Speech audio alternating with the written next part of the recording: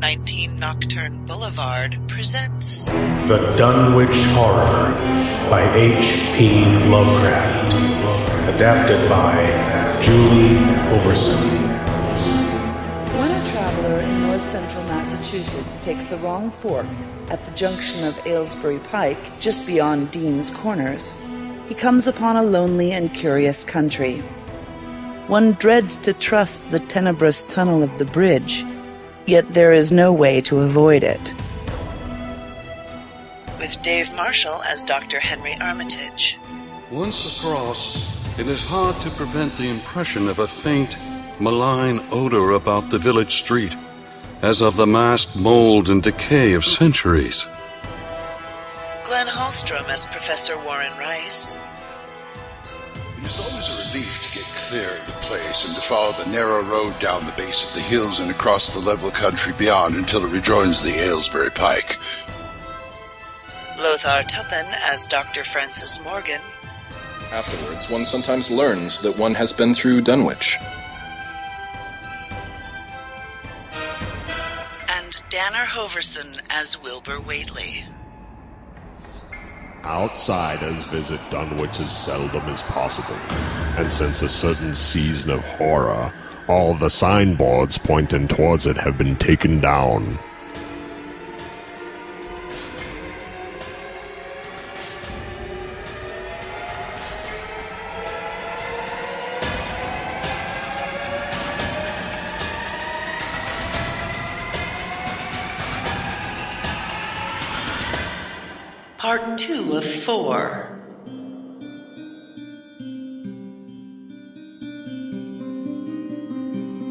I wonder how I shall look when the earth is cleared and there are no earth beings on it. He that came with the Aklo Sabaoth said I may be transfigured, there being much of outside to work on.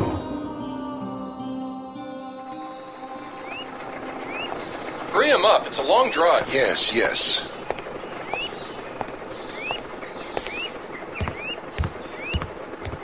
Is he there? I only just knocked. Sorry.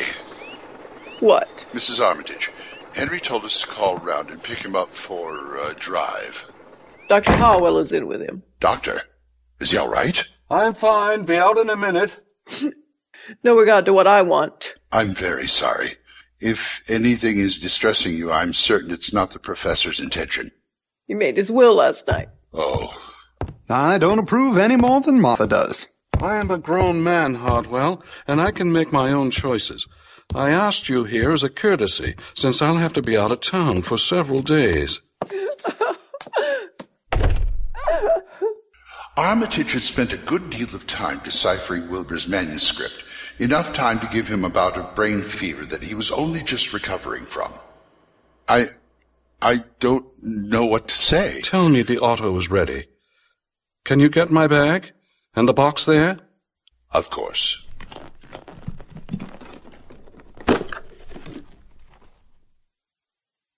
Armitage, are you sure you're up to this?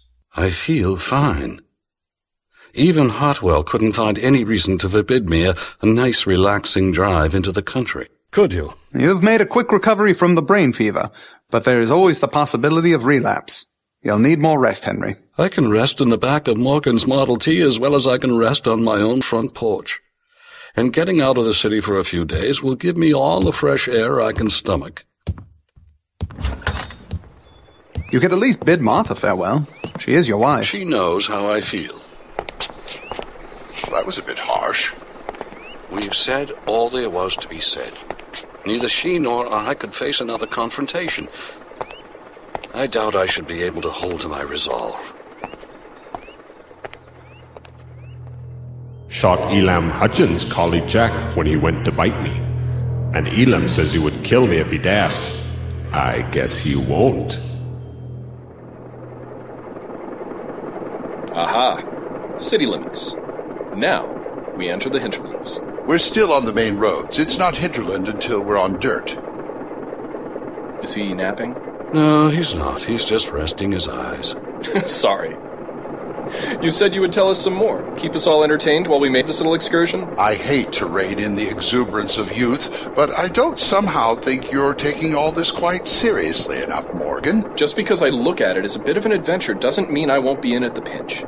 I just don't see why we need to go about it with mournful faces. I appreciate the light mood, Morgan. We'll have plenty of time for long faces later, I've no doubt. Then tell us more about Whateley. If what we're thinking we might face is something he left brewing back home, the more we understand him, the more we can understand it. One evening, just as twilight fell, Armitage finished his terrible perusal and sank back exhausted. His wife, bringing his dinner, found him in a half comatose state, but he was conscious enough to warn her off with a sharp cry when he saw her eyes wander towards the notes he had taken. I have something funny about Whateley. What? What? In the papers today. Here. It was the name Dunwich that caught my eye. It's it's not much, but it mentioned how in Dunwich the old Whateley farmhouse must have been used for illegal purposes. The paper cites a bootlegging still as it, get this, blew up last night. Blew up? It doesn't go into any detail, but the article is titled Alcohol and Amateurs, a Volatile Mix. Volatile? But somehow I think bootlegging is not what we shall find when we get there. See, I can be just as serious as you. I'm sure you have the right of it, but it is definitely good to be forewarned about potential dangers. The article says the house was destroyed, but oddly enough, it does not mention fire, which we would expect from a normal explosion. I wondered if you would catch that. And this was in today's paper? The actual incident was several days ago. It may mean we'll find more of such devastation when we reach the town. I brought all the precautionary material you wanted the powders, the incantations. And I brought a big game rifle. A what? A very large, very intimidating gun. Whether we're dealing with locals or monsters or even elephants. I can at least wave it and look menacing. Actually, for locals, I brought something even better. What? You'll see. I don't like that laugh. I know. He had sufficient strength to get home, but was so clearly in need of medical aid that Dr. Hartwell was summoned at once. As the doctor put him to bed, he could only mutter over and over again, But what in God's name can we do? Now that you've brought us up to date on the town, let me fill in some of the details about the Whateleys. Wilbur Whateley was born to one Lavinia Whateley, and though she had no husband, she didn't try to hide her uh, condition. Her father, known locally as Wizard Whateley, He of the black magic bent. yes, he always insisted she had a husband, although no one ever saw him, and there was no legal proof of marriage. Many of the locals felt that living all alone as they did, perhaps old Whateley himself was to blame. Ugh. Inbreeding. Of course. But Lavinia was no siren. Past 30, unmarried, and unfortunate in appearance, perhaps she felt this was her only chance. Unfortunate? You mean ugly? Deformed. Albino. You might have mentioned that before. Her appearance was stunning, but her personality was. Uh, I-, I met her briefly when I was in town. She was a very fragile woman. Not fragile physically, perhaps, but there was a strange, unreal quality to her. I do not think she ever had the slightest chance of being happy. Not with a father like that. Stop talking around things. You've already hinted that Wilbur was not entirely human. Since this poor woman sounds all too human, it must have been the child's father who contributed the rest. I'm not talking round, I'm laying a foundation. Oh, cut to the chase. Hill noises. Sacrifices. May Eve, Necronomicon, Yog Sothoth. Morgan! Have I come to the right conclusion? You're very clever, almost as clever as you think yourself. I doubt it was Yog Sothoth himself, for he could not break completely through at that time. But some avatar? Yes. What is this Yog-Sothoth? What does it do? The Necronomicon is not an encyclopedia. It's not a dictionary. Just as the Christian Bible doesn't define in clear and absolute terms what an archangel is, the Necronomicon only alludes to the powers and governances of these entities. But that key passage Key. implies that Yog Sothoth is one that will let everything else in. And now? I think something has been set in motion. A series of events whose culmination is a full summoning. Yog Sothoth knows the gate. Yog Sothoth is the gate. Yog Sothoth is the key and guardian of the gate. Past, present, future, all are one in Yog Sothoth. There's no good side to this, is there? Good side. You know what I mean. Some things are a mixed bag of good and bad. A forest fire seems like a horrible tragedy until you realize the ashes refertilize everything around and new growth can begin. He's still debating the ethics of the Great War. I see your point, but no, there is no good side. Not for humanity. Good. No ambiguity then. Never hurts to be certain you have the high ground. Whatever Wilbur has set in motion, whatever he was trying to get home in time for, is nothing to waffle about. I'm not exaggerating when I call it potentially the end of the world. Glad to be here with you. What he said. My plan, then, when we get to town, is to speak with the locals at the general store. Osborne's, as I recall. See what we can find out. Then we'll go to the former Whateley farmhouse, sort out what we can from the remains. Grandfather kept me saying the Dho formula last night. And I think I saw the inner city at the two magnetic poles. I shall go to those poles when the earth is cleared off. Will the locals be helpful, do you think? You said they didn't like the Whateleys much. Are there any other Whateleys left that we have to worry about? There are Whateleys all over the region, but Wilbur's mother and grandfather have both passed away, I believe. Good. No one to object if we go poking around the old homestead. And the townsfolk? They don't like to talk about these things, but they also never like the Whateleys.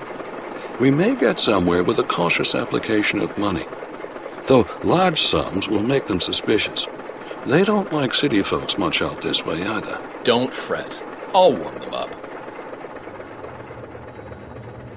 Today learned the Aklo for the Sabaoth, which did not like, it being answerable from the hill and not from the air. Good thing Morgan brought an extra can of fuel. What do you suppose he's doing in there? I, I don't know. He seemed very sure of himself. These young fellows, they think they know everything. He's only young to us old fellows. Come on in. Goodness. Shall we? These are my friends, Professor Rice and Dr. Armitage. Ah, very pleased. Morgan has told you something of why we're here? Aye, up. Can't say much for your timing. Not with all what's been a going on. Shush, Mamie. I will not shush, Earl Sawyer. If these fellas can fix what's broke here and leave us with our lives, I say all power to them. Tis the end of days. That's what Zebulon's been saying. Says just close your eyes and hope for a swift passage to the land of milk and honey. Silas, I don't want to hear that kind of talk in my place. Mamie here was telling me something about Wilbur's mother. Well, I'm not one for gossip. Earl, I can only speak to what I seen with my own eyes. I went to pay a call after the birth, bring her some little things that babies can need. Well, no one else was a gunner. She didn't have no woman friends. No friends at all. None of them Whateleys ever did. Would have helped if they'd bothered with church. But Wizard would have no truck with any proper religion. Him and his old books. Well, when I stopped in on Lavinia, she looked that haggard. And I'd had two children myself, know what that's like. But she. Oh, my. You know she was an albino, do you? Yes, I met her myself when I was in town a few years back. I knew you looked familiar. You remember Silas? No. When the doctor called you flat footed. Said you weren't fit. I'm fitter than any other in this town. Of course you are, Silas. Them city doctors don't know a damn what they're about. I don't think it's the doctors. Hmm. I I think it's the army don't know a damn. But then, it means we were left alone once they gave us up as a bad job. Can't say we don't want it that way. Might I please finish a single sentence before all your menfolk go off on army blather? Let the woman talk. Maybe she'll run herself tired. well, I tried to find out a bit about the father and said how everyone was curious what kind of fella he was. She wouldn't speak to that, but soon after she came out wandering round the woods. She was always quite a wanderer, was Lavinia, making dead certain everyone had a darn good look at her babe. She was right proud of that little beast. Must been born with hair, that one. I hate to speak ill of the dead. And while there wasn't no proper funeral, everyone knows Lavinia's gone from this world. But she did seem to take it that that baby made her a woman. Being a woman made the baby. Hush. We never took her real serious. Thought of her more as an animal.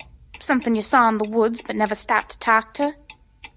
'Twas like she thought finally doing something normal and expected would make her suddenly normal too. Poor thing. You felt sorry for her? They from the air told me at Sabbath that it will be years before I can clear off the earth. And I guess Grandsire will be dead then. Can't let this go to waste. I hope you don't mind, Mr. Osborne. I have another bottle or two if you'd like them. For the store. Shan't say no. Them cattle now, that was a mystery. Cattle? Old Whateley kept buying cows and sheep and sometimes horses, and anything he could lay his hands on. Except dogs. No, no. They never have a dog up there. Paid for it all in strange old gold coins. We figured he come across a treasure somewhere in them hills. Ain't a body like to touch it, but it's spent well as aught. So who are we to argue? Do you have any of the coins? Later, Rice. Right. But them cows, they just up and vanished. Really? Interesting. Thank ye. and not a body knew where they'd have gone. The ones that didn't disappear wasn't much better. Ailing, I'd call it. Listless and covered in strange sores. Did it? Did they look like a bite or a cut right in the center of a bruise? Yep. Why do you ask, Mrs. Fry? Thinking back on Lavinia, back when she and baby Wilbur was first about, she had some of them same kind of sores. Interesting. It's a moving again. Grandsire don't think of me as nigh what he wanted. He goes on saying as how Ma was flawed. A willing vessel is well and good, but she were too soft, too human. I'll have to work harder to do it right than I ought, and it's all on her. Tell him what you saw, Luther. Something. Uh, something was in the rud? Useless lump. Drag him all the way here so's all can hear it, and this is what I get. Sounds like he's in shock. Here. Now you speak up, boy, or I'll take a belt to you. Up there in the road beyond the glen. It smells like thunder, and all the bushes and little trees is pushed back from the rud like they'd a house moved along it. That's Cold Spring Glen for them as is wondering. And that ain't the worst neither. They's prints in the rud. Great round prints as big as barrel heads. All sunk down deep like an elephant had been along. Only they's a sight more nor four feet can make. and the smell, oh, smell was wicked fierce. Like what it is around Wizard Whateley's old house. It bust. We heard. Would you like. I don't mind if I do. For the shock. We'd like to take a look at what's left of the house. Don't want to go up there. Tain't pretty. Old Whateley's house? Tis all bowed up, with timbers scattered round like they'd be dynamite inside. Only the bottom floor, bottom floor ain't through, but it's all covered up with a kind of tar-like stuff that smells foul and drips down onto the ground where the side timbers is blowed away. And a great swath wider than a barn is matted down, and all the stun walls tumbled every which way. And Sally, up to Seth Bishop's, phoned round and told me her boy'd been out looking for the Bishop kind. Up the upper pasture, nigh the Devil's Hop Yard, Chauncey found a good part of Seth's herd. I, I went with when he asked me. No fit shape they was. Half of them was clean gone, and nigh half of them's left was sucked most dry of blood, with sores on 'em like them on Whateley's livestock. Not a one went dead and gone, and that's a blessing, since neither of us could have lived if we heard them low, and I swear. Was there any sign of where it went? Didn't look careful to see where the big matted down swath led after it left the pasturage. Pointed rough towards the glen to the village. And the Glen. I tell ye, there's something abroad that hadn't ought to be abroad, and I ain't the only one that thinks that Wilbur Whateley is at the bottom of the breeding of it. He warn't all human hisself, Aldous says to everybody.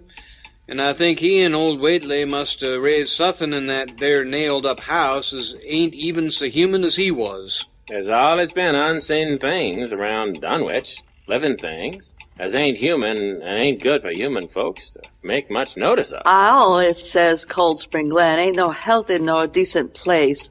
The whippoorwills and fireflies there never did act like they was creatures o' God. And they's them as says you could hear strange things a rushin' and a talkin' in the air down there if you stand in the right place. We all went round the first day. In a group. Not one wanted to be near there on their lonesome mind. And had a look at what was left, and at them prints, and followed them to the glen. But don't go thinking we followed them aught further. You have all been very helpful. I fear we must impose one more time for directions to the Whateley house. Now, but it's coming down dark in a couple of hours. You won't get there and back, and ain't no safe place to stop tween there and here. We have an automobile. Enough the roads will take it. Best to wait till morning. We're quite prepared to deal with this thing, whatever it is. Is there someone who might be able to put us up for the night, perhaps? That upstairs more ahead of me than I had thought it would be, and is not like to have much earth brain. We appreciate your being willing to put us up for the night, Mrs. Corey. I've never ridden a motor car before. Even when them was round before, I was too young, Ma said. We're going awful fast, ain't we? Perfectly safe, my good lady. Now that you won't scare all of them loafers, Luther, you go on and tell them what I told you not to tell in town. I. I don't like to say. These men need to know every odd thing about Wilbur and his ma. You go on now. It was Halloween, some years back. There's a great blaze at midnight on the top of Sentinel Hill. That's where the table rock stands. I was out rounding up a stray heifer. He was curious and feather headed. You're gonna let me speak or you're gonna tell it for me? You are doing just fine. I saw a white shape in the woods and thought at first it was a ghost or something. Too stupid to run away. But I realized it was. It was Lavinia Whateley and. And she was wasn't wearing a stitch of clothes. Ugly or not, one bare-assed woman is good as another to this sprouting boy. Then I saw Wilbur was with her, running up the hill right ahead of his mother. This was before the fire, so we later figure they must have lit it. They were so quiet, like haunts, like some kind of spirits. Was the boy unclothed as well? Twere long past dark, in the woods but I think maybe he had some kind of trousers on. Dark he was from the belt down, and he wrote. And he weren't looking at the boy. Ah. No one ever saw that child without clothes, never. Even as a babe, Lavinia kept him tight swaddled. Funny, since she never cared much for her own clothes.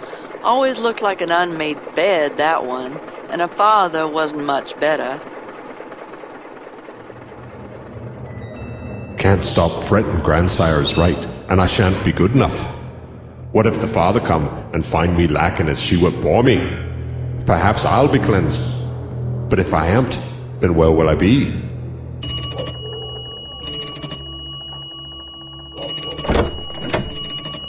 What in blazes? What?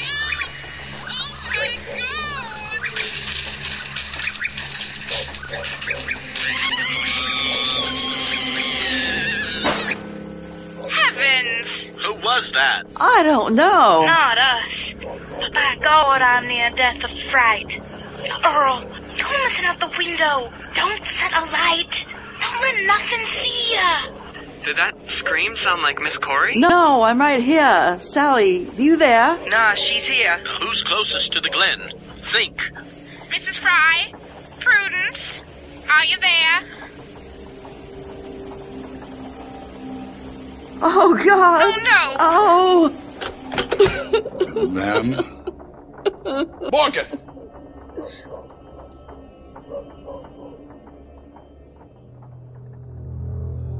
I shall have to learn all the angles of the planes and all the formulas between the ear and the Nhhngr. They from outside will help, but cannot take body without human blood. Ah! No! Grace of God, how can such as this ever be? This is tragic. You should stay in the car, Henry. Keep an eye on it. We'll look. My ego doesn't need an excuse to look after my flagging body, Rice, but I do thank you. I'll, I'll go make myself comfortable. Is he all right? I don't think he slept well. I don't think anyone did. Not with that call. That smell. That's just like at Wizard Whateley's. Is there any sign of the family? Did any of them get out before the house was crushed? I, I doubt it. Yet they tried to warn the rest of us. At least with that black uh, residue, I don't see any blood. Till now, it's kept itself to cattle. After this, mark me well, we'll have the taste for folks, too.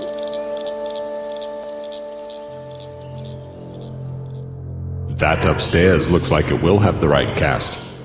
I can see it a little when I make the Voorish sign, or blow the powder of Ibn Ghazi at it, and it is near like them at May Eve on the hill. The other face may wear off some. It's all gone. Crushed and mangled and covered in this tarry deposit. I got a bit of a sample, though I'll tell you, I'll never touch this bottle and box again, but leave it to Armitage. He's fallen asleep. Let him rest. No. This looks bad. Here, put this in the back. During his fever, Armitage would shout that the world was in danger. At other times, he would call for the dreaded Necronomicon and the demonolatry of Remigius, in which he seemed hopeful of finding some formula to check the peril he conjured up. Armitage. Armitage! Damn it. We need to find a place to lie him down and some cold water. What is it, man? I can't hear. I'm not dying yet. You keep that in mind. Hold tight, and we'll get you comfortable. There are no whippoorwills. For once, being too human may be of some use. Must follow grandsire's last words. Find the right incant before the time comes. Make a visit to town. Something that upstairs could never do. Bright caster no.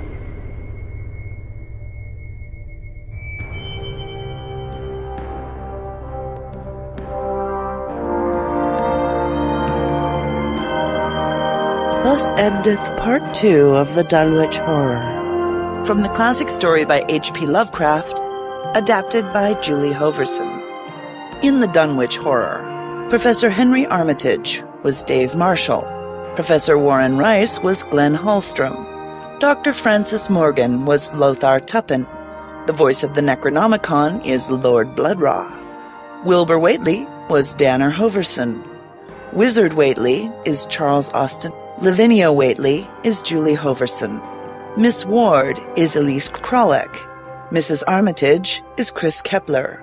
Dr. Hartwell is Chris Lackey of the H.P. Lovecraft Literary Podcast. Curtis Whateley is J. Spyder Isaacson. Mamie Bishop is Beverly Poole. Earl Sawyer was Rick Lewis. Silas Bishop is Eli Nilssen. Joe Osborne is Reynaud LeBoeuf. Mrs. Corey is Robyn Keyes. Mrs. Fry is Kimberly Poole of Warped Space. Luther Corey is Matthias Rebne-Morgan. Widow Zebulon is Rhys T.M. Sally Bishop is Gwendolyn Jensen Woodard of Gypsy Audio. Chauncey Bishop is Mike Campbell. Officer Williams is Jack Kincaid of Edict Zero and Slipgate 9 Productions. Officer O'Reilly is Michael Coleman of Tales of the Extraordinary. The other police officer is Chad Fifer of the H.P. Lovecraft Literary Podcast. Seth Bishop and additional voices by Mark Olson and the Dunwich Townsfolk. Music for the Dunwich Horror is by Kevin MacLeod of Incompetech.com. The cover art is by Julie Hoverson. The ferocious guard dogs Quinn and Spencer Dutkovsky appeared courtesy of their personal sound engineer, Donna. Additional effects by Henry Howard. No whippoorwills, alive or dead, were harmed in the making of this show. Much thanks to Fred Greenhalgh of Radio Drama Revival. Sound and mastering was done by Julie Hoverson. Sound effects were found at soundsnap.com, sonomic.com, and onesoundfx.com. All persons, places, and events in this story were fictitious or used in a fictitious manner and are not meant to reflect any persons, places, or things, living, dead, undead, or outside our three dimensional realm. Questions? Comments? We would love to hear from you. Contact us at 19nocturne at turn at live.com, that's 19nocturne, or visit our website at www.19nocturneboulevard.com. This presentation is copyright 2011 to Julie Hoverson and Reality Productions and is released under a Creative Commons non commercial license. Spread the show around, but don't try to make money off it.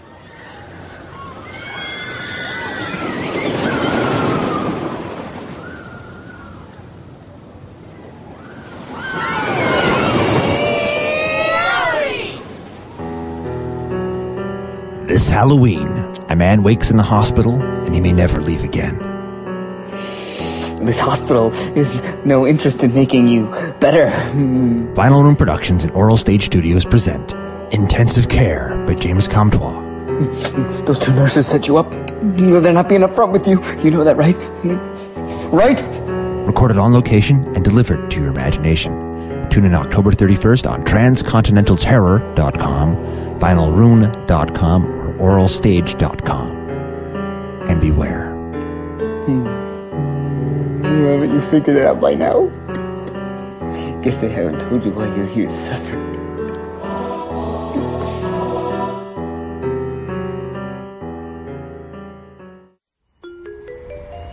Mmm, great coffee. Mmm. Hey. Hmm? Chad, who's that strange, somber man on the cover of that book you're reading? Oh, that's H.P. Lovecraft. Oh, I've heard of him, but I never really got into his stuff. It's kind of strange and hard to read. No, I used to think that too. But that all changed when I started listening to the H.P. Lovecraft Literary Podcast. What's that? The H.P. Lovecraft Literary Podcast is a weekly podcast. Tell me more. Well, these two really smart and hilarious guys give a synopsis of the story, then they talk about its background, the critical views, and what it says about the author. Well, where can I listen? Let me tell you, Chris, you can go to hppodcraft.com or heck, just subscribe through iTunes. It's that easy. Oh, Chad, I'm so excited. Now I can listen to this podcast and pretend to all my snooty friends that I actually read and understand H.P. Lovecraft. Hey, that's what I do. oh, dear.